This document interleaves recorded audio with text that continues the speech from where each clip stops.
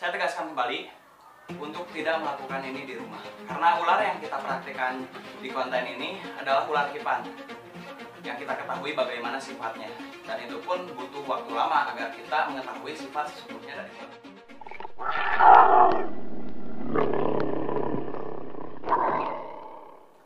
Assalamualaikum warahmatullahi wabarakatuh teman-teman Sekarang kita akan ngebahas dua jenis ular yang bikin warga suka tertipu namanya Yaitu antara ular kobra dengan juga ular king cobra. Nah sebelumnya saya akan minta maaf dulu ke teman-teman. Di sini saya sedikit akan free handle Walaupun dibantu dengan alat yaitu kacamata Untuk mengatasi semburan kobra Dan juga tentu saja hook. Ini adalah safety tool untuk para reptiler ya teman-teman. Sekarang kita akan menyiapkan ularnya dulu teman-teman. Tunggu dulu sebentar ya. Sekarang di depan Babang udah ada ular kobra teman-teman. Kita akan buka sebagai contoh bagaimana sih ular kobra yang sesungguhnya. Biar kalian juga nggak keliru akan perbedaan antara ular kobra dengan ular king cobra. Kita sekarang pakai kacamata terlebih dahulu ya teman-teman agar tidak tersembur pada bagian mata. Karena efek dari racun ular kobra ini jika terkena mata secara langsung bisa membutakan mata kalian. Jadi kita harus safety menggunakan kacamata teman-teman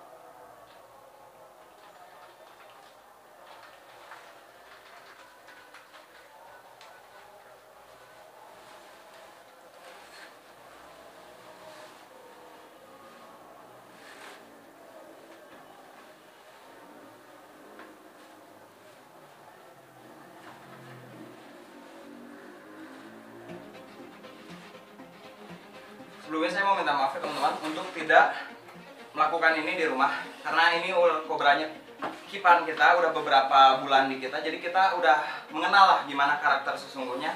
Dan buat teman-teman semua ini adalah jenis ular yang berbisa ya. Jadi tidak untuk ditiru teman-teman. Kebetulan ular ini sedang ingin ganti kulit ya teman-teman. Jadi warnanya sedikit pucat jadi teman-teman ini adalah jenis ular kobra. Kobra hitam. Dia khas dari Jawa teman-teman. Memiliki nama latin Majas putatrik teman-teman. Untuk habitat sendiri ular kobra berada di daratan-daratan yang penuh dengan rerumputan kering atau juga bambu teman-teman. Ini adalah jenis ular kobra ya teman-teman sangat mencolok sekali warna hitamnya dan berbeda, sangat berbeda dengan ular king cobra teman-teman. Ular seperti ini dapat panjang hingga semeter setengah ataupun 2 meter teman-teman. Makanan kesukaan ular ini adalah tikus atau burung kecil juga. Kebetulan ular ini sedang viral-viralnya ya teman-teman. Ya, dia baru saja menyembur. Sedang viral-viralnya karena banyak ditemukan di area-area pemukiman teman-teman. Ketambah lagi bulan Desember ini adalah bulan menetasnya ular kobra seperti ini teman-teman. Jadi dia tidak aneh lagi jika ditemu, e, berada di daerah pemukiman-pemukiman masyarakat teman-teman. Ular kobra ini panjangnya sekitar semeter setengah. Dan itu udah cukup besar ya teman-teman untuk ukuran sebesar itu. Untuk penyebarannya ular kobra berada cukup banyak di daerah Indonesia seperti di Sumatera, Jawa, Kalimantan, Bali, sampai Sulawesi teman-teman.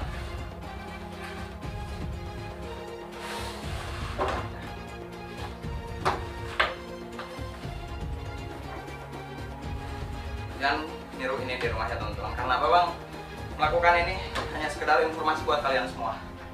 Agar tidak tertipu lagi bagaimana cara membedakan antara ular kobra dengan ular king cobra. Ciri khas paling utama dari ular ini lehernya yang bisa mengembang, teman-teman. Dan juga warna warnanya hitam pekat jika yang berasal e, dari Jawa. Sedangkan untuk daerah Sumatera atau Jawa Timur sudah beda warna, teman-teman. Biasanya lebih cenderung ke coklat dia. Untuk jenis ular seperti ini, teman-teman, yaitu kobra atau najas kutatrik, dia memiliki jenis proteroglypha, teman-teman dan memiliki jenis bisa neurotoksin. Jika ular seperti ini menggigit pada manusia, dalam hitungan jam, manusia itu akan meninggal dunia. Jadi sangat tidak disarankan untuk free handle ular ini. Kita di sini juga menggunakan alat bantu ya teman-teman, yaitu hook dan juga kacamata. Kenapa? Karena ular seperti ini menyembur.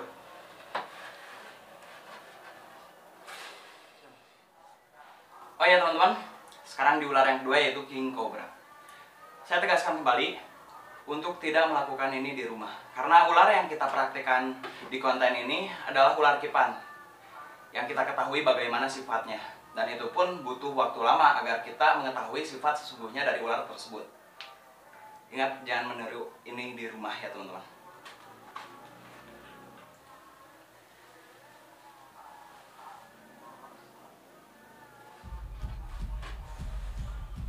Ini ular king cobra teman-teman. Panjangnya sekitar 3 meter setengahan. Kita akan mencoba mengeluarkan si ular tersebut.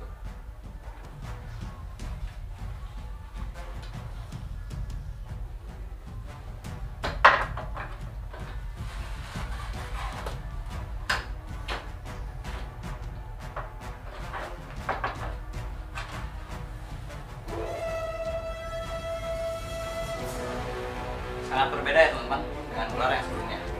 Ular king cobra adalah ular beracun yang paling panjang di dunia. Panjangnya bisa bisa sampai sekitar 6 meter. Sedangkan untuk ular cobra sendiri, panjang maksimalnya hanya sekitar 2 meter setengah maksimal. Untuk ular seperti ini bisa mencapai 6 meter atau bahkan lebih untuk di alamnya. Ular king cobra memiliki nama latin Opiopagus hanah tidak terlalu jauh dengan ular sebelumnya yaitu ular kobra. Ular king cobra memiliki jenis gigi proteroglypha teman-teman. Untuk ular king cobra sendiri teman-teman, makanan kesukaannya adalah ular. Sedangkan untuk ular kobra biasa, dia memakannya tikus atau burung-burung kecil teman-teman. Ular seperti ini biasanya memiliki daerah teritorialnya sendiri untuk di alam teman-teman. Jadi misalnya kita menemukan ular seperti ini di tempat itu, ketika besoknya kita datang lagi, mungkin ular itu akan tetap di situ karena wilayah teritorialnya berada di daerah itu.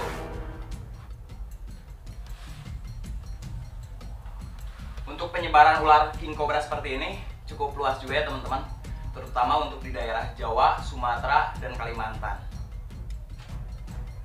Sama seperti ular kobra teman-teman, di setiap pulau mungkin atau daerah yang lainnya, ular seperti ini memiliki warna yang berbeda-beda Contohnya di daerah Kalimantan, warna ular king cobra seperti ini biasanya sedikit kemasan teman-teman. Begitu juga Sumatera, Sumatera sedikit kemerahan teman-teman. Dan untuk Jawa seperti ini, hijau kecoklatan.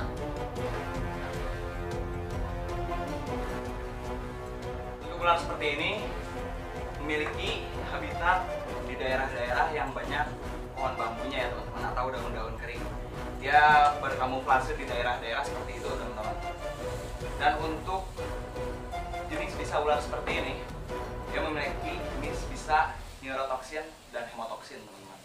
Jika seorang manusia tergigit ular seperti ini jika kita tidak cepat mengatasinya mungkin hanya hitungan menit dia akan meninggal dunia. Cukup mengerikan ya teman-teman.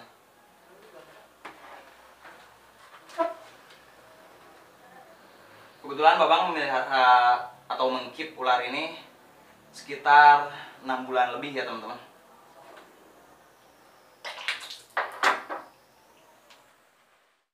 Oke teman-teman, barusan kita udah ngebahas tentang dua jenis ular yaitu ular king cobra dan juga ular cobra teman-teman.